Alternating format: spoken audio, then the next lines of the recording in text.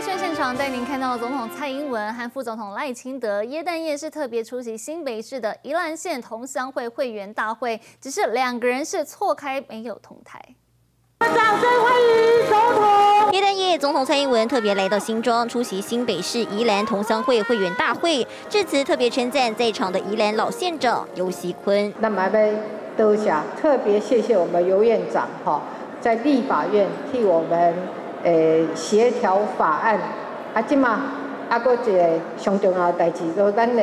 预算，我们明年的预算还在审议当中，吼，啊，已经进入到最后的阶段，所以咱是不是甲咱的尤院长拍一波，甲鼓励一下，好啊？台下宜兰乡亲很捧场，蔡英文也不忘感谢自己二零一零年参选以来宜兰同乡会的大力支持，甚至为宜兰高铁设站许下承诺。虽然讲宜兰在哪里设站，我们有一些不同的意见哈，但是我们也大致都整合了哈，所以我们也希望就是说我们的交通部可以呃加速来作业哈，后面的进度找那个院长就对了哈。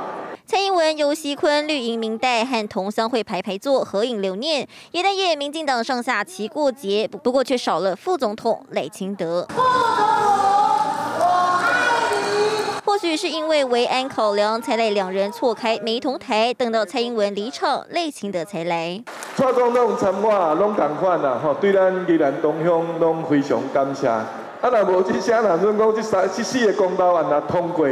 对台湾要行入国际社会，一定出现困难啦。感谢同乡会支持，因为蓝营执政的宜兰县却成功挡掉四项公投，才来把握耶诞节庆跑团出席，不难看出二零二二拿回宜兰的决心。记者综合报道。